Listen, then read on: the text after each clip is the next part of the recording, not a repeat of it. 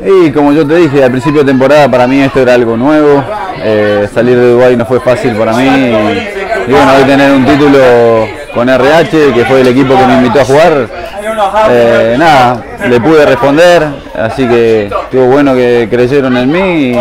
Y, bueno, hoy estar levantando la Copa de la Reina es algo muy, muy importante. Parecía de todo, pero los partidos son finales, los finales hay que ganarlas y hay que ganarlas en el chaque suplementario o con la campana, no importa.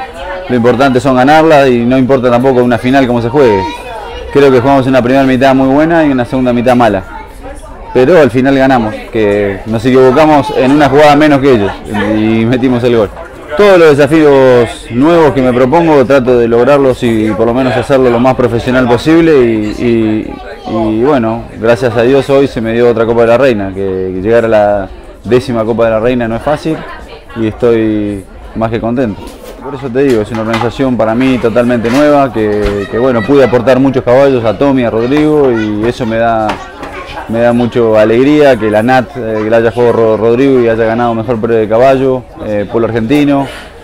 Y nada, este, en un año nuevo, en un año que para mí salir de Dubái no fue fácil, quiero mucho a Ali a Rayuri y hoy jugar con otro equipo me parece algo raro, pero bueno, este, uso eso a motivación y me ayudó a, estar ahí donde estoy. Ellos son, eh, son, son personas claves en mi organización, tanto él como los veterinarios, como el herrero, el pelo.